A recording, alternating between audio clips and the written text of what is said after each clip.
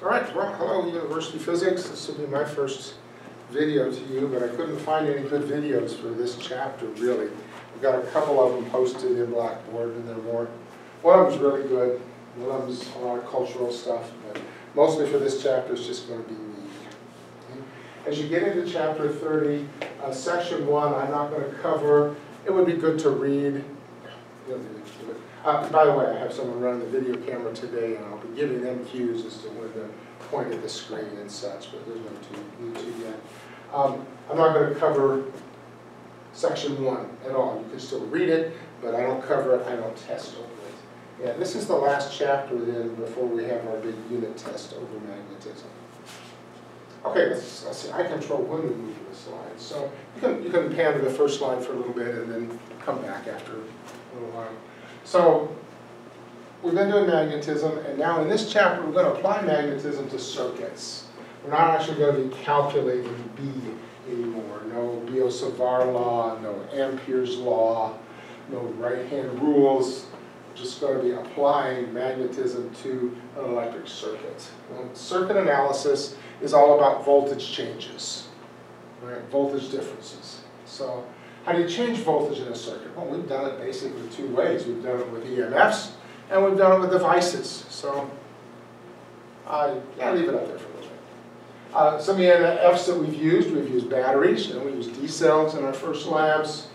We used the black DC power supplies, the PASCO power supplies. Uh, we didn't use solar cells, but we could have. We used the wall socket, and that was an EMF. And what kind of devices did we? Mostly we used light bulbs, and we used our color band resistors. I've at least used capacitors in class for that demo, remember for RC circuits where we had the light bulb on and off. Uh, we used a diode, but I'm going to talk about a new one. What did, you can come back to me now. What did we just discuss in chapter 29 as a new way to create an EMF? Chapter 29, what was EMF equal to? A change in magnetic flux. That's a new way of coming up with an EMF. Instead of a battery, we could have a change in magnetic flux through a loop and that will create a voltage. And we can count the number of loops, and we have Lenz's law to help us decide which way the current flows. I'm going to cue you, not from a video person, but for you as you're watching this video, because I hope you're using the PowerPoint slides in conjunction with the video. And so now I've just jumped to PowerPoint slide three, which just says change in magnetic flux does cause an induced voltage. So in this chapter, we're going to learn how to use that to our advantage and put that into a circuit with a device called an inductor. I'm going to introduce the inductor by a big compare and contrast with what we already know, resistors and capacitors. You don't need to go to the screen for quite a while. You can just leave it on the whiteboard. And we'll have a big summary slide here in a little bit that I'll show. Okay, well, we've had resistors and we've had capacitors and now today we're going to talk about inductors, which goes with a capital L. So I'm just going to do kind of a compare and contrast for those three things. Okay? There's their symbols in a circuit R, C, and L. What resistors have? What's their electrical property? Resistance. Resistors have resistance. Capacitors have capacitance. Inductors, what they're called, An inductor has inductance, which reminds you again that we're using Faraday's law induced EMFs. Slide four and to slide five. How do you show them in a circuit? Here's how you show a resistor with a little sawtooth kind of thing, a capacitor, like this. For an inductor, the new circuit symbol, inductors behave like solenoids, and so we show a coil of wire, kind of like that, to think about a solenoid. So how does it, quote, work? For resistance, we've got to have current. If there's current in the resistor, what do we get? A voltage change. And that's how we discuss resistors is by the voltage change that's caused by current passing through them. Well, for a capacitor, what do you need? You need Q on the C, you charge on the capacitor, and if you put charge on the capacitor, what do you get? You get a delta voltage. Well, now we need a, a new expression like that for inductors. How does an inductor work? An inductor makes its voltage by a change in magnetic flux. But just to remind you, what is magnetic flux? In a simple sense, magnetic flux is a B field times an area. Typically, we're going to leave the area constant, so we can take that outside the derivative. And so the thing that does the changing is usually the B field. And what causes every B field, every formula for B that we've had, the B field of a long straight wire, the B field of a current loop, the B field of a short segment of wire, B field of this, B field of that, B field of the other. Every case, it's got a current and some other stuff, usually some geometry. That geometry stays constant, like the area, and it turns out that this EMF is always proportional in an inductor to a changing current. So what we're going to say over here is that a changing I through an inductor leads to a change in voltage. So something happens in each case to make a voltage. Either we have current, therefore there's a voltage change. Or we have charge, and there's a voltage change. Or we have a change in current, then there's a voltage change. So read section 30-2 in particular, which talks about this in detail, and also in the MIT lecture number 20. I think the first half of it is all I assigned, but he talks about this quite a bit of detail also. Okay, I'm on to my PowerPoint slide number seven. I just rephrased this. Uh, it's kind of a chicken and egg thing. Does the current cause the delta V, or does the delta V cause the current? So I phrase this another way and say delta V is required to have current. You won't get any current through a resistor unless there is a voltage change.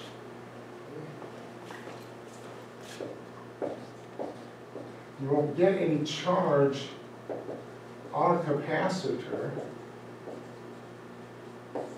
unless there's a voltage change across that capacitance, right? How do you charge a capacitor? Hook a battery up to it. You've got to have a delta V to have that Q. Same thing here. Delta V change in voltage is required to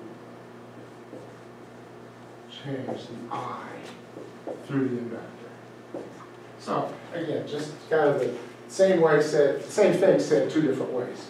I causes delta V, it's not really causal. But you can think of it that way. I causes delta V or delta V causes, delta V causes I. Like I said, kind of a chicken and egg scenario. They both actually happen simultaneously. Okay, on to slide number eight.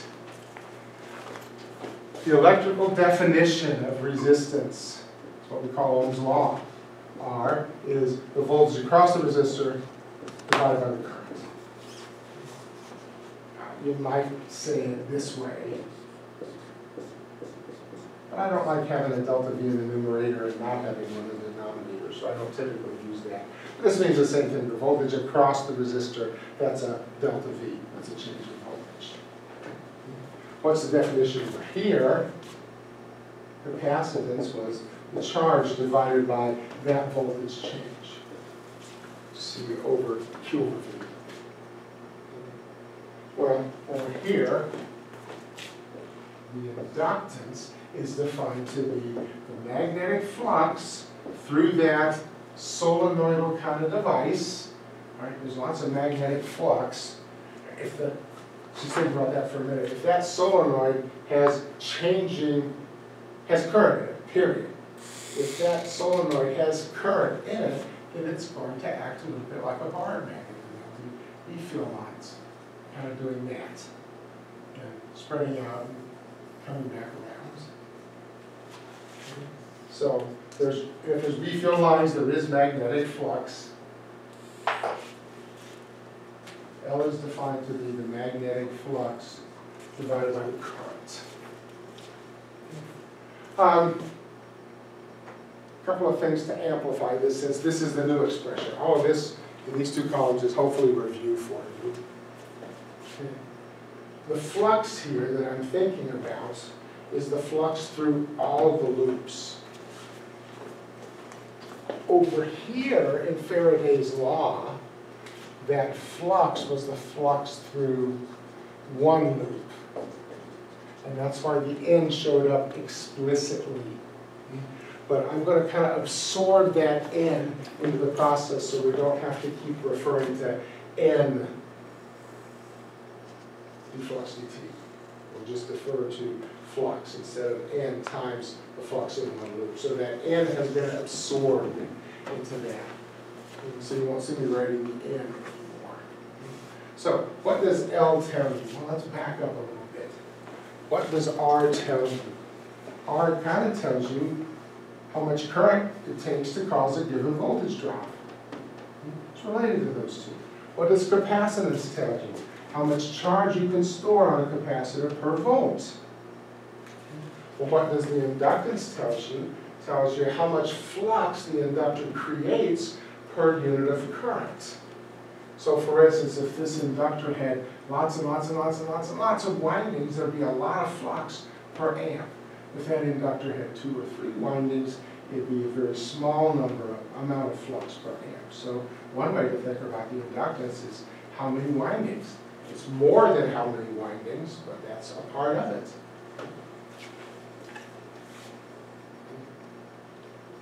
Another way you can think about this is, again, it's B field times some constants. So the inductance tells you how much B field you get per unit of current. A bigger inductor means you get more B field per amp. A bigger capacitor means you get more coulombs stored per volt. A bigger resistor means you get a bigger voltage drop per amp. On to slide number usually when we're doing Ohm's law, we turn this around and say, okay, the voltage drop across a resistor is I times R. Equations are the same. Um, we put a minus sign. Why the minus sign? Well, because typically when we're doing a Kirchhoff's rule of analysis, we go through a resistor in the direction of the current. So I'm, I'm assuming the current is going through the resistor, and that makes this the high voltage and that the low voltage, and so the voltage is decreasing, a voltage drop. Maybe I should call that a voltage drop minus IR. Same way here, first charge on this capacitor, and there's the high side, there's the low side, there's gonna be a voltage drop as you go from high to low which is Q over C. Again, the minus sign isn't critical, but the way we do our Kirchhoff's loop analyses, we usually wind up subtracting those voltages. Well, we're going to have the same thing over here, same kind of an idea. Now think about this one for a minute while I think about what I to say.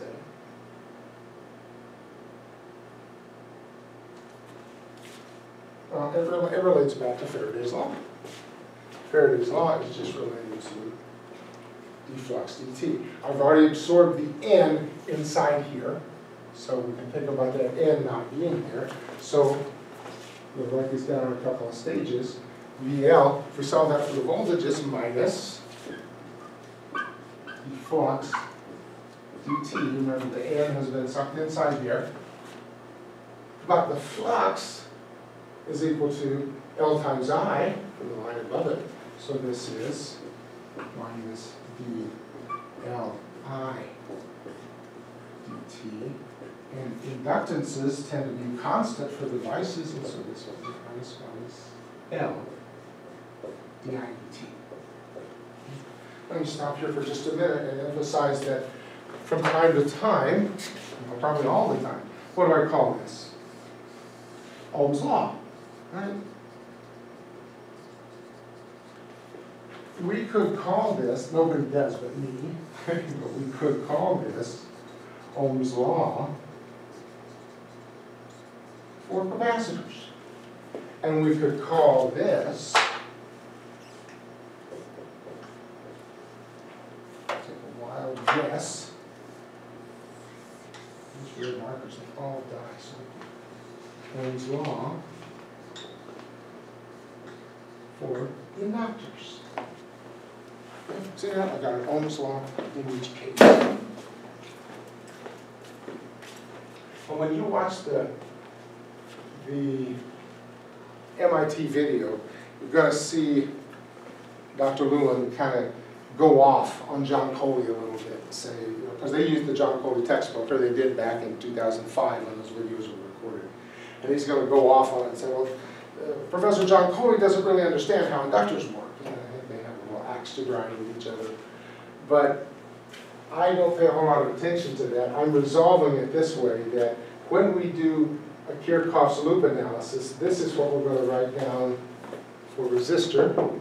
This is what we're gonna write down for a capacitor, and this is what we're gonna write down for an inductor. Mr. Lewin would not like me saying it that way, but he's not here. So this is the way I'm gonna say it, it matches up with what's in the textbook.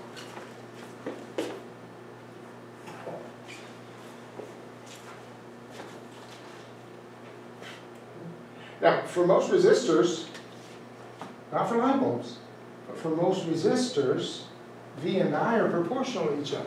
You double the voltage, you double the current. Triple the voltage, you triple the current. Since I is proportional to VR, that means R is a constant. Right? You get a resistor out of the drawer, and it's a 300 ohm resistor, and it doesn't really care which day you take it out of the drawer. Yeah, this is It's a 300 ohm resistor today, it's a 300 ohm resistor tomorrow, so forth. Again, light bulbs, it change. Not by time of day, but by temperature. Well, similar for this. The voltage is proportional to Q, so C is a constant for most capacitors. Over here, the voltage is proportional to DL to DIT in general, because I is proportional to B, and B is proportional to flux, and B is proportional to flux to T, it all just kind of chains together, and so L is a constant. So you you've got your drawer full of resistors, you've got your drawer full of capacitors, and when you take circuits class, you'll have the drawer full of inductors. They'll have a certain value, and they'll be constant. We do it all the time. I have even been half an hour yet, has it? We started at nine thirty, so. Nine thirty here where I am, so I have no idea what time it will be when you watch this. All right, well, let's keep going with this little parallel development of these things. Oh, this is something that's not in the textbook, it's something that's not on the videos, it's just something I've developed over the years as a way for me to hopefully remind you of these two components and help you understand that. Um, usually R is a function of geometry. I mean, here we gave an electrical definition. Remember that's what I called these when we came up with them in class, and that's what I would call this. Um, this is my electrical definition of L. But the electricity doesn't determine R, because R is a constant. R is determined really by geometry.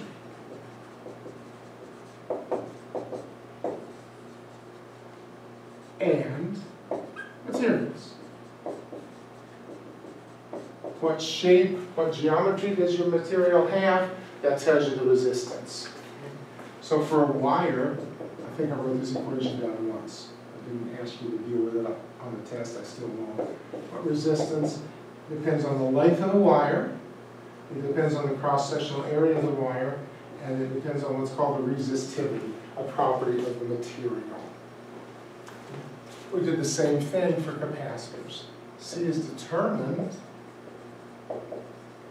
not by the charge on it, not by the voltage across it, because that ratio tends to be constant. C is determined by, guess what?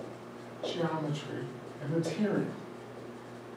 And so we had C was, depends on the area of the capacitor plates, the distance between them, epsilon naught, and our dielectric constant. Well, guess what? L is determined by your what? Geometry and material. And in the textbook, for a solenoid, turns out that L depends on the area of the solenoid, the cross-sectional area of each loop, and the length, wow, let's see. Area, length, area, and the length, area, and the length. And it also depends on the number of turns, and it depends on the permittivity constant. Right, why I write a mu naught there? Well, I could write a mu naught, and then I'd have to put in some sort of a constant like this. You can think about it either way, but this is material, and that's geometry. So, Parallel idea. In your textbook, this is section thirty point two that derive this. I think the MIT video derives this. And this is called the self-inductance of that solar solenoid. Because it, it's doing something to itself. When there's current through it, it creates an EMF that by Lenz's law points in the opposite direction of the current change. All right. Here's the last slide of this set. So why don't you turn this back to the screen for a little while. You'll see that I've got this laid out a little prettier than it looks on the board. This doesn't look like my new slide. right? Oh, yes, it does. Never mind. Never mind. Something just from my own curiosity. Yes, it does. Okay. So the only thing that I haven't talked about yet are the energy properties of these three things and the units. So let's do that, and you can focus on the slide now. I'm just gonna write down the same stuff that's up there. So we're gonna talk about the energetics of each of these. I've run out of room for my doctors, I'll erase it. We'll, we'll get a good shot of the board here in a minute too, so you can see where I wound up on the board with this same development.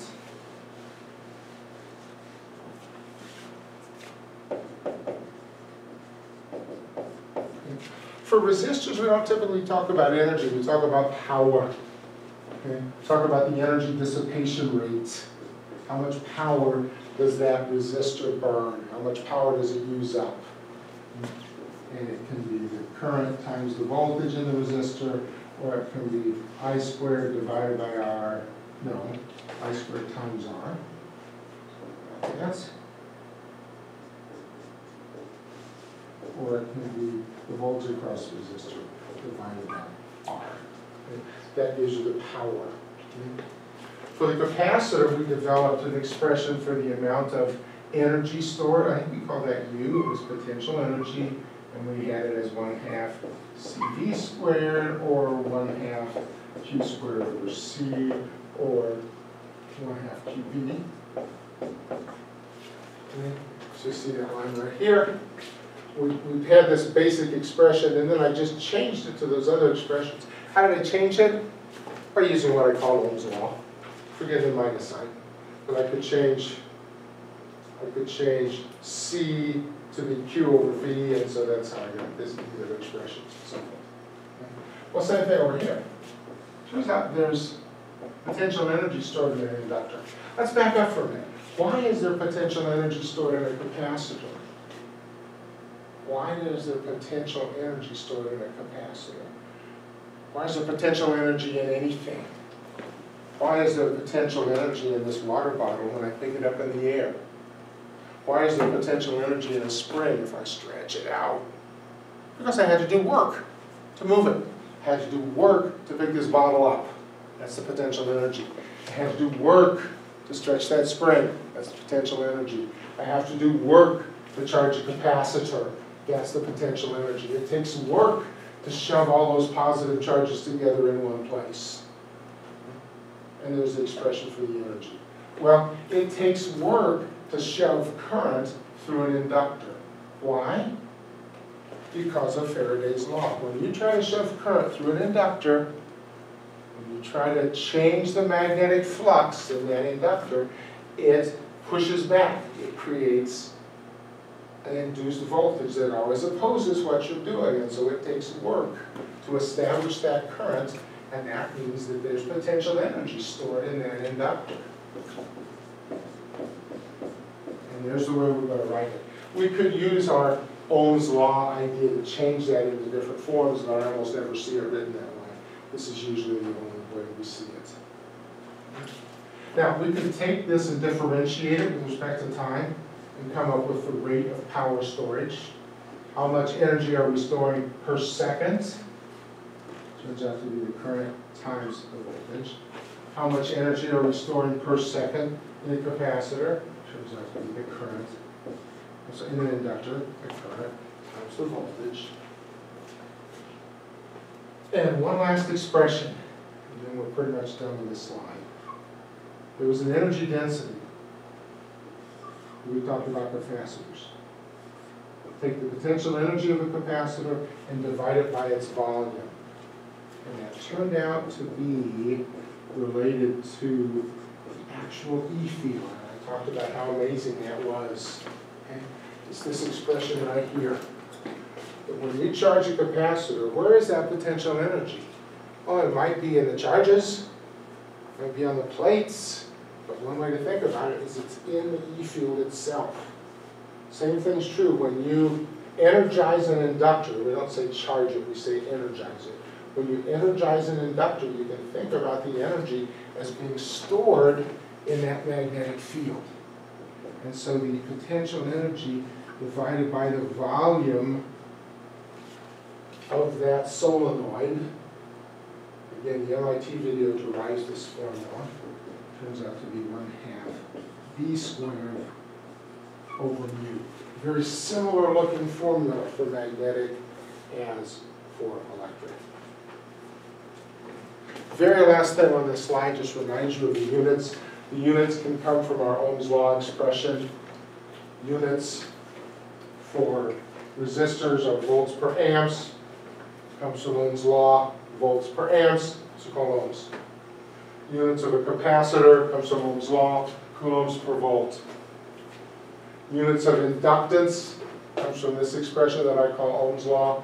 Flux units divided by current units. Flux units are called Webers. Current is in amps. And so you get Webers per amps, which are named after Joseph Henry. It's called the Henry unit. All three of these are named after people. There was a Ohm, there was a Faraday, Farad, there was Henry, you know, Henry.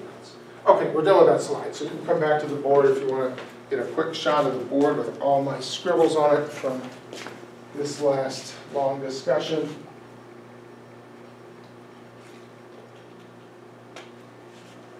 So capacitors, resistors, and inductors. All right.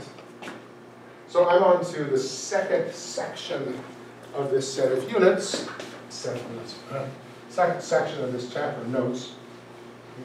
Our first, if I outline this chapter, what we just did was Roman numeral one, which was inductors. So hopefully we got a little bit of a feel of what an inductor is. So. This is what we did so far.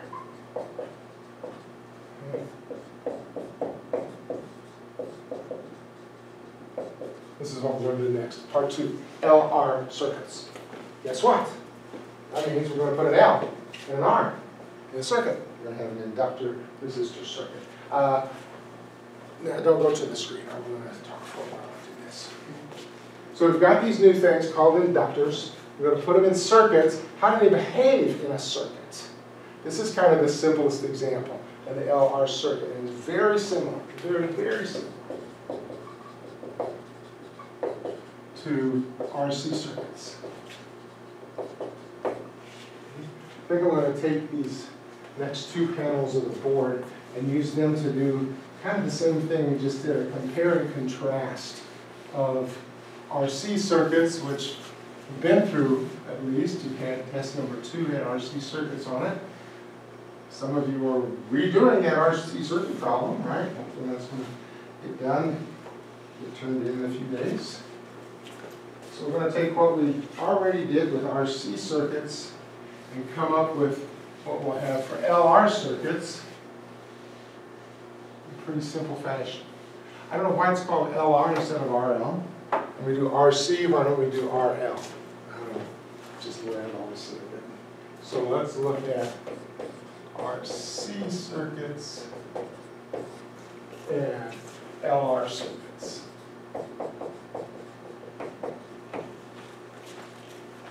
Simplest RC circuit.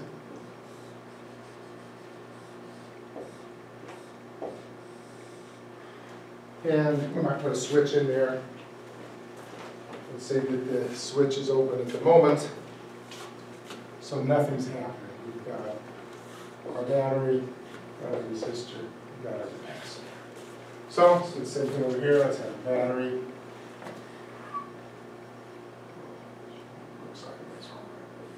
We'll put an inductor in, we'll put a resistor in. So I've got my voltage, a switch, my inductor, got my resistor. Let's do a Kirchhoff's loop rule, going around this loop. You'll find that the MIT guy does this differently than I do. Again, he's got his axe to grind about how people do this, he's got his way that he thinks is right, and everybody else has got a misunderstanding. Over. Let's start here at the lower left-hand corner and go around the loop. So we gain a battery voltage. Oh, there's some current flowing, let's, let's close the switch. And we'll say current flows in that direction. So I gain the battery voltage, I lose voltage because I go through the resistor, Ohm's law minus IR. There's some positive charge building up on that capacitor. And so this is high voltage at the pluses, low voltage at the minuses. I lose some voltage there, and now I'm back to my starting point. So there's my loop. We'll do the same thing for the inductor. Start here. Let's assume current flows that way. Close the switch. Now, current is going to flow into that inductor. It's going to make some B field. The inductor is going to respond in such a way as to fight the creation of that B field, or is to fight that current going through it.